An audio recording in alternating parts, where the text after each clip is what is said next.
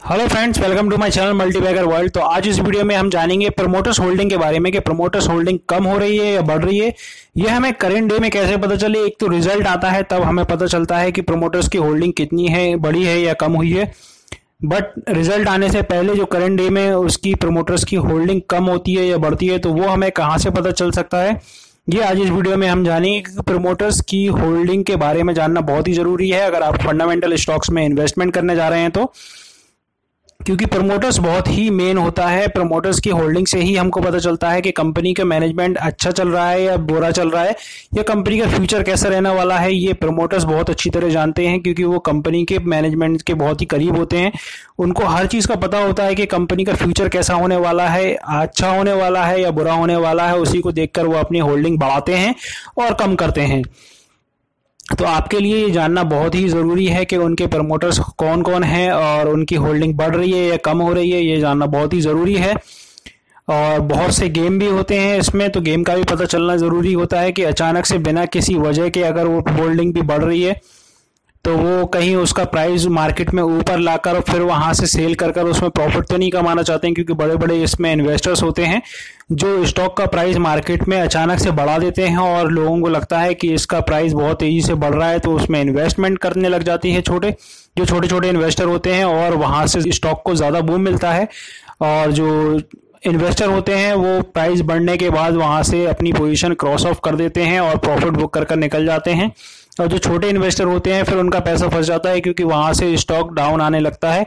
और अगर उसका फंडामेंटल खराब है कंपनी के अंदर कुछ भी मैनेजमेंट बेकार है उस कंपनी का और आपने चेक नहीं किए ये सब चीज़ें, सिर्फ़ उसका प्राइस बढ़ते हुए देखकर आपने उसमें इन्वेस्ट कर दिया है तो वहाँ पर आपका पैसा फंस जाता है क्योंकि स्टॉक एक बार नीचे आने के बाद बहुत ही मुश्किल होता है उसको ऊपर पाना अगर आप मूवी देखेंगे, एक हॉलीवुड की मूवी है वॉल्फ स्ट्रीट वोल्फ स्ट्रीट में आप देखेंगे तो वहाँ पर भी वो ऐसा ही काम करते हैं। वो लोग दूसरों को स्टॉक्स ज़्यादा से ज़्यादा क्वांटिटी में बाय करवाते हैं और खुद पहले से बाय करके बैठ जाते हैं और जब ज़्यादा लोग उसमें बाइंग करते हैं तो कंटिन्यूस उसका रेट बढ़ता है और जब वो कई गुना बढ़ जाता है तो वहाँ से वो स्टॉक में सेलिंग कर कर निकल जाता है और जितने भी स्टॉक को उसने खरीदवाया था, जितने भी छोटे इन्वेस्टर्स को वहाँ सबके पैसे फंस जाते हैं और आज भी वो जो स्टोरी उसमें दिखाई है वो एक रियल इन्वेस्टर के ऊपर है।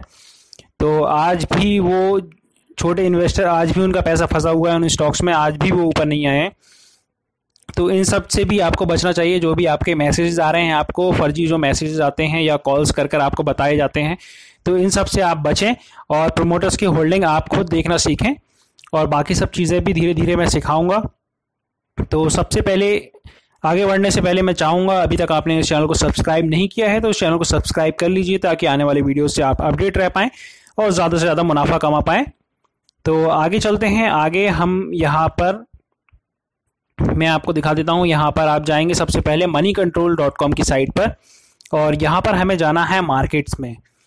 तो यहाँ पर जो आपको मार्केट दिखाई दे रहा है, यहाँ मार्केट में आपको क्लिक करना है। और यहाँ पर ये मार्केट का पेज ओपन हो चुका है तो हम यहाँ पर स्क्रॉल डाउन करते हुए नीचे आएँगे। और नीचे हमको एक ऑप्शन मिलेगा तो हमको उस ऑप्शन पे जाना है।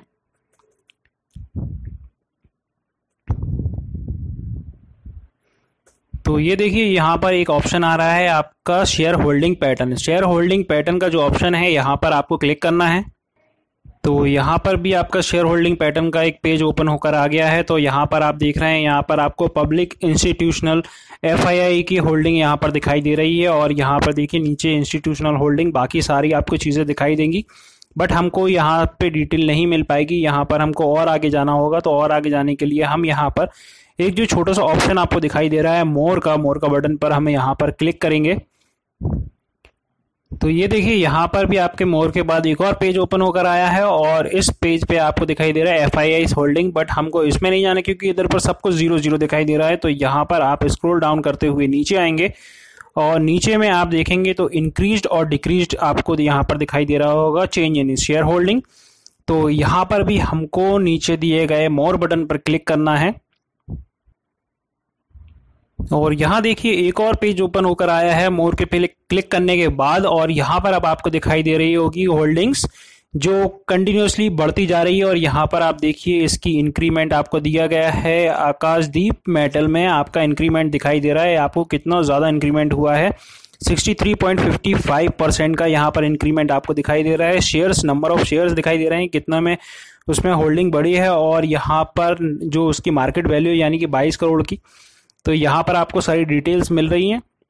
और फिर सेकंड आपको दिखाई दे रहा होगा वी मार्ट रिटेल और भूषण स्टील और यहाँ पर डिश टीवी यूको बैंक में भी काफ़ी ज़्यादा स्टॉक्स में, यानी कि नंबर ऑफ़ शेयर्स में यहाँ पर होल्डिंग बढ़ी है। आप सिर्फ़ परसेंटेज पर नज़र रखिए, कितने परसेंट यहाँ पर होल्डिंग बड़ी है तो आप होल्डिंग देख रहे हैं यहाँ पर। तो यहाँ जाकर आप सभी स्टॉक्स की जो भी होल्डिंग चेंजेस आ रहे हैं, उन स्टॉक्स में आप चेंजेस देख सकते हैं। यहाँ पर हमने इंक्रीमेंट देखा था, अब हम यहाँ पर डिक्रीमेंट का भी ऑप्शन चेक कर लेते हैं कि डिक्रीमेंट जिन स्टॉक्स में हो रहा है डिक्रीमेंट करने के बाद सिलेक्ट करने के बाद भी हम फिर से इस पर मोर पे क्लिक करेंगे और सभी स्टॉक्स यहाँ पर ओपन होकर आ जाएँगे। क्योंकि यहाँ पे सिर्फ़ टॉप फाइव दिए गए हैं और उनको बाकी भी देखना है कि शायद हमारी होल्डिंग में जो स्टॉक है, उसमें भी चेंजेस आए हों उनके शेयर्स होल्डिंग में। तो उनका भी हम देखना चाहते हैं तो यहाँ पर हम आते हैं। और डिक्रीमेंट भी हम देखने को मिल जाएगा यहाँ पर। तो यहाँ पर देखिए यूनाइटेड बेवरेजेस जिसको आप अच्छी तरह से जानते हैं यूनाइटेड बेवरेजेस में भी यहाँ पर चेंजेस आए हैं। एम फासिस में भी यहाँ पर डिक्रीमेंट देखने को मिला है। और एम्फासिस का फिर इसे स्टॉक काफ़ी ऊपर चढ़ना चालू हो गया है बट इसमें ज़रूर कुछ चेंजेस आए होंगे तो उसको भी हम चेक करने के लिए मैं आपको बता दूँगा। जो होल्डिंग है वो यहाँ पर दिखाई नहीं देती। यहाँ पर 15 डेज़ का डिफरेंस में दिखाई देता है। तो जो करंट में चलता है करंट में आज भी अगर चेंज हुआ होगा तो वो आज का भी दिखा देगा। और अगर कल चेंज हुआ था तो कल का भी वो दिखा देगा। जो भी डील हुई है कंपनी के बीच में, जितने भी स्टॉक्स की, सब कुछ दिखा देगा। तो उसके लिए हमें जाना होगा यहाँ B S E India dot com की साइट पर। और B S E India dot com की साइट पर हम विज़िट करेंगे और तो यहाँ पर एक आपको ऑप्शन दिखाई देगा कॉरपोरेट्स पर क्लिक करने के बाद हमको यहाँ सबसे नीचे जाना है। कॉरपोरेट्स की लाइन में ही हमको सीधे सीधा नीचे जाना है और इनसाइड ट्रेडिंग में हमको जाना है। तो इनसाइड ट्रेडिंग में हमको पता चलेगा कि करंट में किन किन स्टॉक्स में प्रमोटर्स की होल्डिंग अभी बढ़ रही है या कम हो रही है एक्विजिशन हो रहा है या डिस्पोज किया जा रहा है स्टॉक को। तो यहाँ पर हमको सभी कुछ पता चल जाएगा और करेंट डेट आप देख रहे हैं, यहाँ पर रिपोर्टेड टू एक्सचेंज में करेंट डेट आपको दिखाई दे रही है। आज की डेट यानी कि फोर्टीन जुलाई फोर्टीन जुलाई को भी इधर पर डील हुई है। कुछ यहाँ पर भी आपको देखने को मिल जाएगा। ऑफ़ मार्केट में भी यहाँ पर डील होती हैं, यानी कि डिस्पोज होते हैं। ये कंपनी को स्टॉक्स वापस कर दिए जाते हैं बल्क में। तो ये जो हमारा डीमेट अकाउंट होता है, ये उससे थोड़ा सा डिफरेंट होता है। ये प्रोमोटर्स बल्क में शेयर को बाय और सेल करते हैं, वो भी ऊँचे प्राइस पर जो भी मार्केट में चल रहा होता है, अगर उनको ज़्यादा स्टॉक्स खरीदने हैं तो वो ज़्यादा प्राइस ऑफ़र करके वहाँ से कंपनी से स्टॉक्स उठा लेते हैं। इक्विटी में ज़्यादा इन्वेस्टमेंट करने के लिए उनको ज़्यादा पैसों की भी ज़रूरत पड़ती है, वो हम नहीं कर सकते, छोटे इन्वेस्टर उसके लिए बहुत ही बड़े बड़े इन्वेस्टर्स होते हैं। और यहाँ पर आप देखिए प्रमोटर्स ग्रुप दिया गया है, यहाँ पर प्रमोटर लिखा हुआ है प्रमोटर एंड डायरेक्टर सभी कुछ कैटेगरी ऑफ़ पर्सन में लिखा आपको दिखाई दे रहा होगा और यहाँ पर जो कंपनी है Kapasi commercials limited Kapasi commercials limited के और ये प्रमोटर्स जो हैं, उनकी होल्डिंग यहाँ पर देखेंगे तो यहाँ पर ज़्यादातर डिस्पोज किया जा रहा है और नंबर ऑफ़ इक्विटीज़ में देखेंगे तो कितने शेयर्स वो उन्होंने डिस्पोज किए हैं, यहाँ पर दिया गया है और इक्विजिशन फिर किया गया है फोर्टीन जुलाई को। वो किया है के रवि ने N C L industries limited में यहाँ पर इक्विजिशन किया गया यानी कि स्टॉक्स इन्होंने पाँच हज़ार स्टॉक्स में इन्होंने बल्क में ख़रीदे हैं। तो ये भी आपको देखने को मिलेगा, एक्विजिशन में डिस्पोज, यानी कि वहाँ पर स्टॉक्स बेच दिए गए हैं और यहाँ पर जो इंपॉर्टेंट कंपनी अभी चल रही है आई तो आईडीबीआई का हम इधर पर नाम डाल के देखेंगे तो आईडीबीआई में अभी क्या चल रहा है, ये पता चल जाएगा आईडीबीआई में। जो लास्ट ट्रेड हुआ होगा, वो भी पता चल जाएगा। कि प्रमोटर्स की होल्डिंग बड़ी है या कम हुई है, यहाँ पर सबमिट कर देंगे हम स्टॉक का नाम डालकर। तो यहाँ पर देखेंगे हम।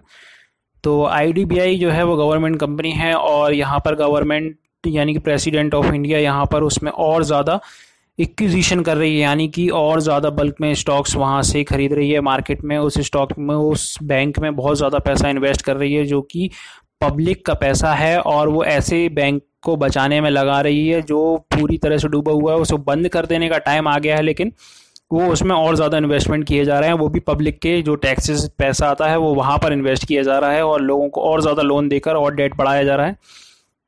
और एन पी बी आई का अगर एन पी देखा जाए तो पचपन हज़ार करोड़ के आसपास उसका एन है और डेढ़ लाख करोड़।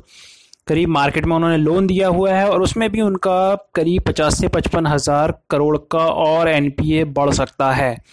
ऐसी कंपनी में उन्होंने और ज़्यादा पैसा इन्वेस्टमेंट किया है।